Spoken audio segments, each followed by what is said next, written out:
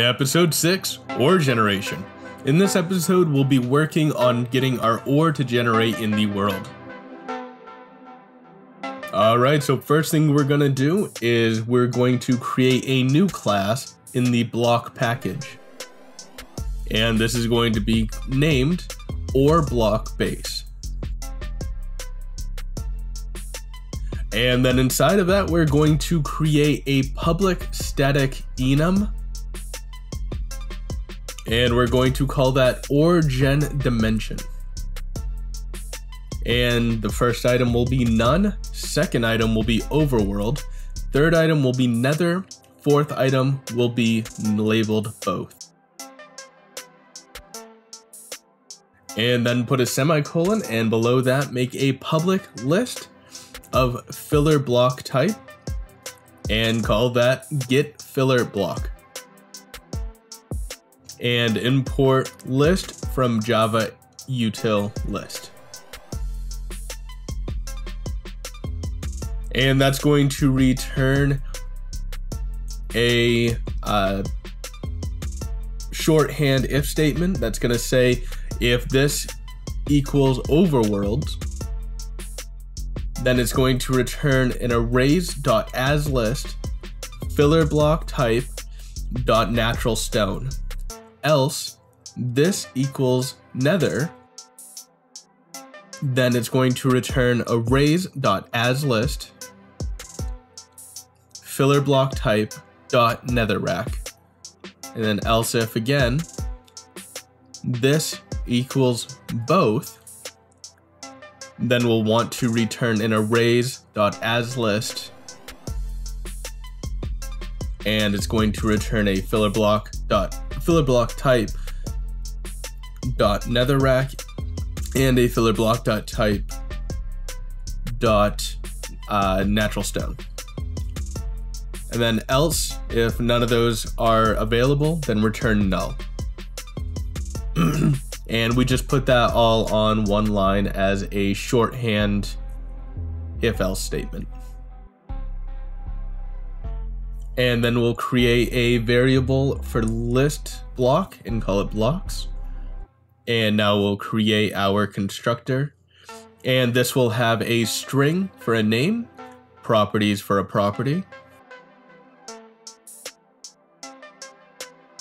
And it'll have an ore uh, generation dimension, and we'll call that dimension. It'll have an int uh, integer for the chance, It'll have an integer for how many blocks in a vein, an integer for the minimum height that it can spawn, and the maximum height. And we'll import block from minecraft.blocks.block and properties from minecraft.blocks.properties. And now we'll set blocks equal to another shorthand if statement would be dimension equals origin dimension dot both then we will return we will do an arrays dot as list and we'll create a new block base with the name and then we'll append a underscore overworld onto the name and we'll throw in the properties. And then we'll do it again so comma and just copy and paste that and change it to the nether. And then we'll do an else if dimension equals overworld.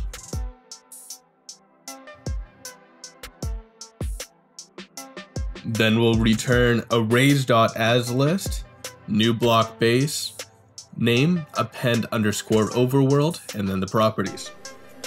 Then we'll copy and paste that and change it to nether and dimension.nether. And then at the very end, we'll just say else return null because it needs a an else.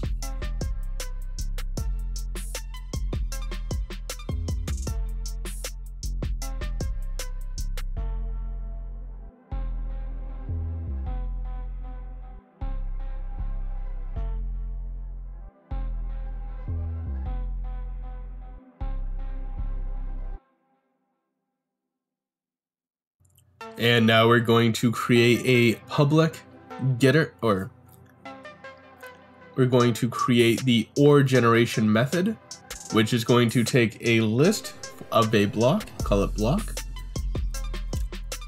and it's going to take the same properties as the constructor. So just copy and paste those right into there. And then we'll check again if dimension equals origin dimension dot none, or if blocks returns null, then we will return out of this. Make sure to do that at the very beginning of the method. and we'll create a integer called index and set it to zero. Then we'll do a for each loop through filler block types, call it filler, and we'll loop through the dimension.get filler block. and then we'll loop through the biomes by doing biome biome and we'll get the forge registry dot biomes and we'll import that by doing control shift o. And then we'll say biome add feature and it's going to be a decoration underground ores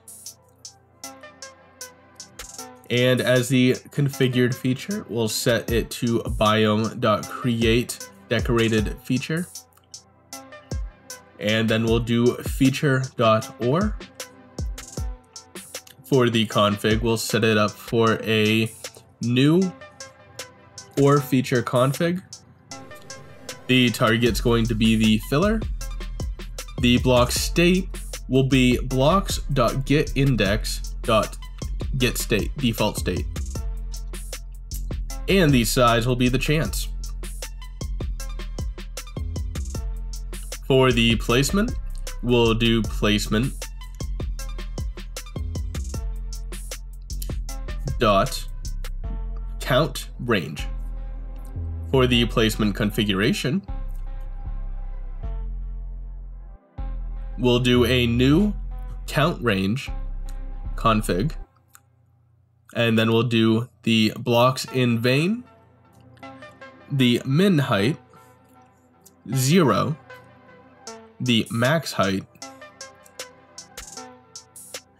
and then we'll import all of that.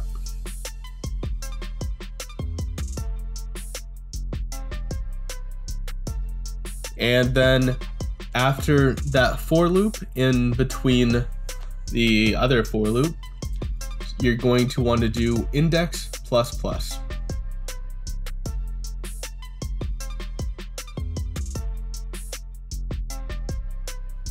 And now we're going to create a getter for our block list. So we're going to do public list block, get blocks. And then we'll just return blocks.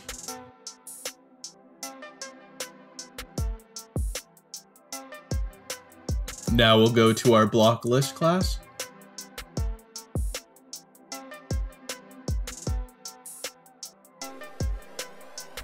and we'll create a new constructor. And this will take in a list block and we'll call it block. and we'll import that from Java util. And we'll change our property from a block block to a list block block. And that will cause a few errors, but we'll just change that to arrays.aslist and put in block and do that for the other two as well. And then change the getter to a list of block. and under get display name, we'll do block.getIndex and add int index as a parameter. And do that for the other two as well.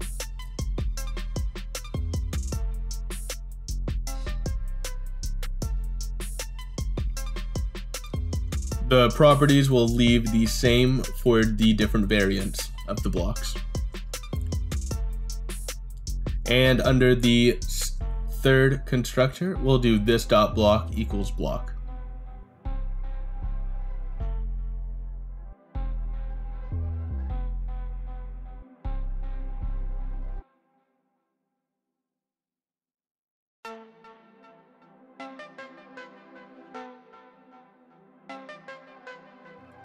And then up in our variable, we'll change it to a new ore block base.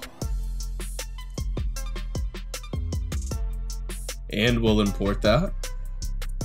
Then we'll do at the very end dot get blocks.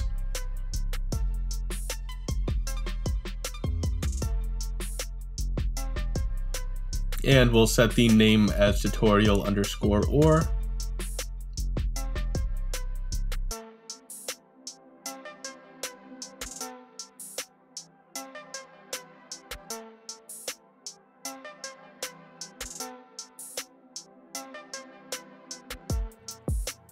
and here for some reason Eclipse will not let me import it using the shortcut so I had to go up and manually import it into the import section.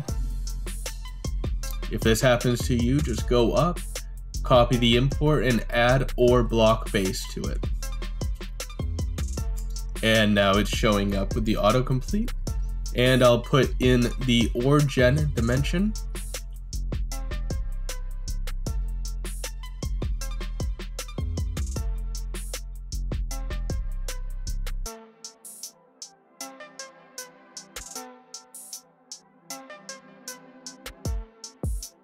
and we'll set that as both. If you wanted it to only spawn in the nether or overworld, you could specify that there. We'll set the chance to 32, the vein to 16, the minimum height to 2, and maximum height to 75, just so it's incredibly easy to find it. If you were doing this normally, you'd set those numbers to a lot lower, unless it was a very common item.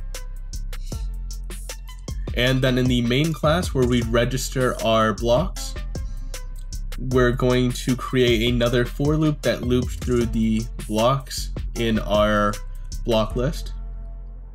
And then we will register that block.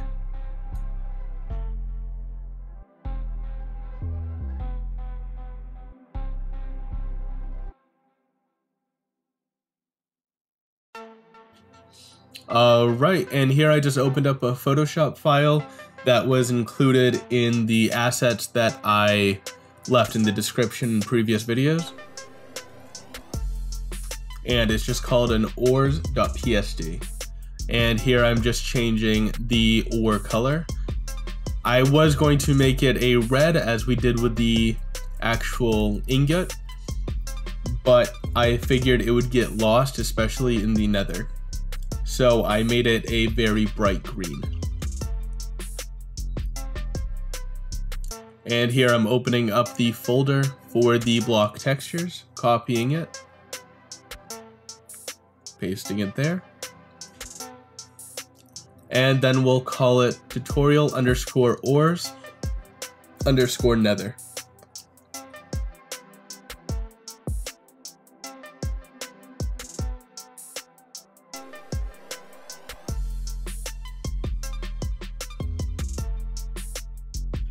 And then I'll hide the nether and I'll save it again. And we'll call it tutorial underscore ore underscore overworld and save it.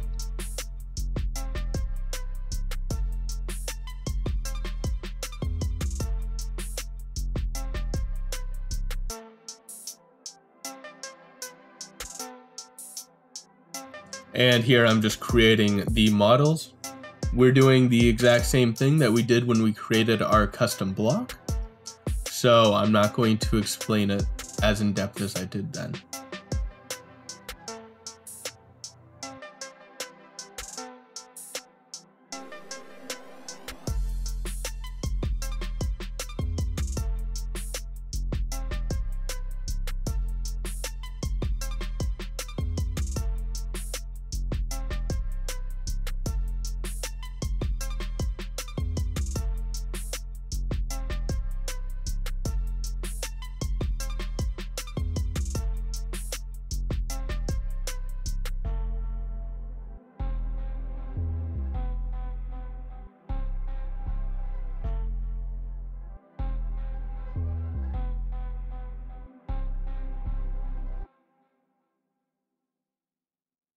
Thank you.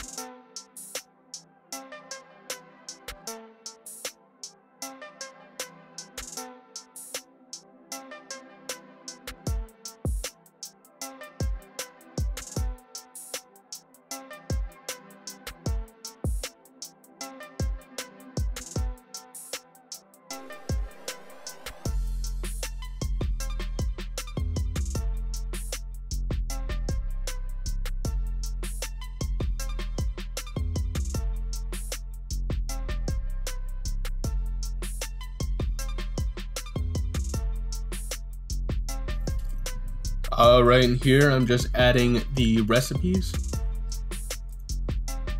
So I'm changing it from the recipes tutorial from tutorial underscore ore, and I'm just adding the overworld to that. And then we'll copy and paste it and do it again for the nether.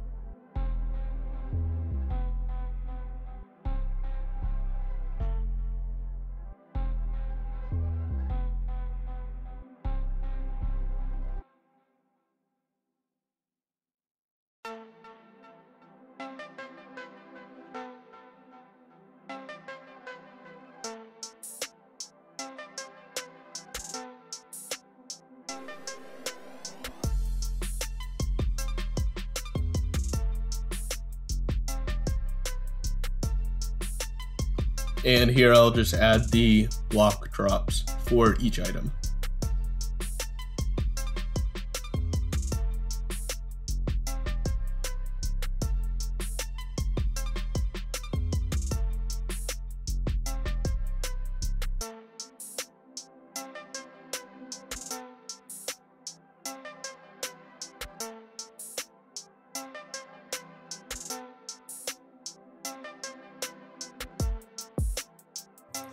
Alright, and here I just went back into the ore block base and I made sure to add the call to the ore generation method. And an easy way to do that is by doing control space and because we use the same variables for both, it will autofill. And there you go. Now we can run uh, the Gradle task.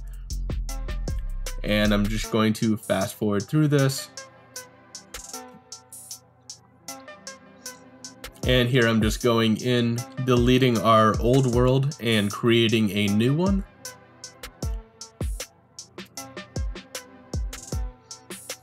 And as you can see, both of our ores have been successfully added to the game.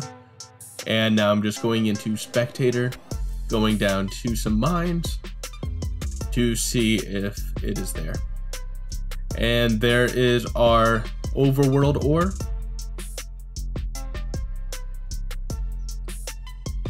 And again, the spawn rate is uh, dramatically increased.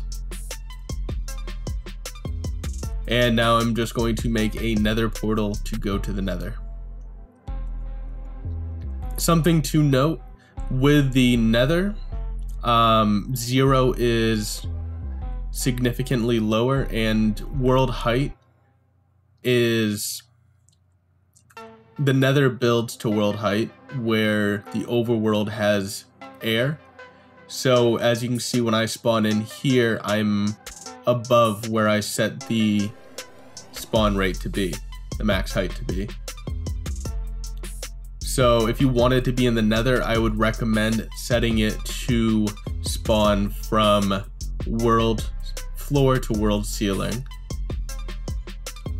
And you can do that a number of ways, either by manually entering the default, which is 512.